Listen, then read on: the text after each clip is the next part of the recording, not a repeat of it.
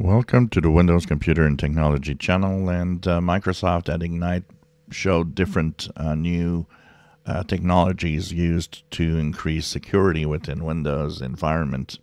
And one of them is going to be very, very good. Um, and it has to do with what we call a category of malware that's called scareware.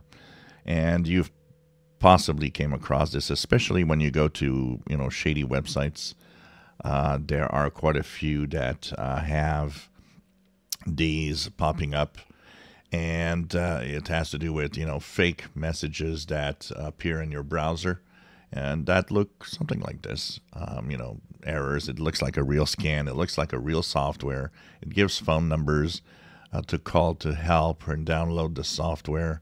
So they tell you, you know, you can click activate a license and so on.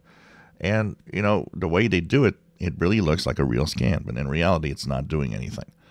And it will tell you that there's errors and so on. And these are really scareware. They're trying to scare you into all sorts of things.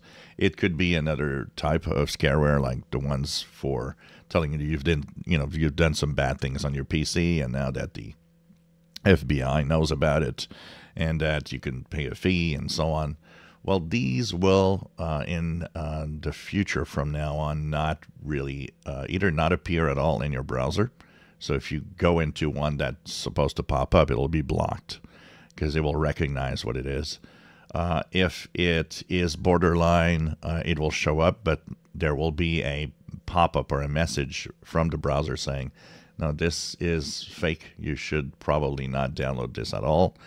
And um, there will also be now in the Windows Defender app a, a uh, new uh, way of scanning that actually, if it sees that you're trying to um, get into, you know, the um, install one of those cleaners if you want, it will immediately block the install.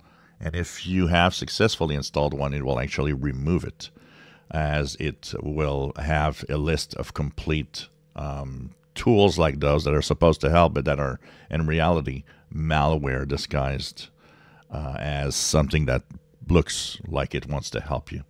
So there will be an increase in that security side, which is really good.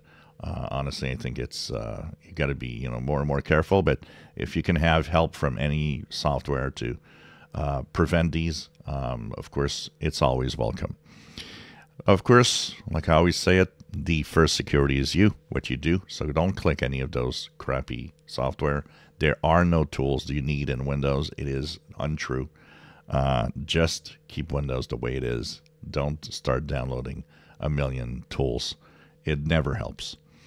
If you enjoy my videos, please subscribe, give us thumbs up. Thank you for watching.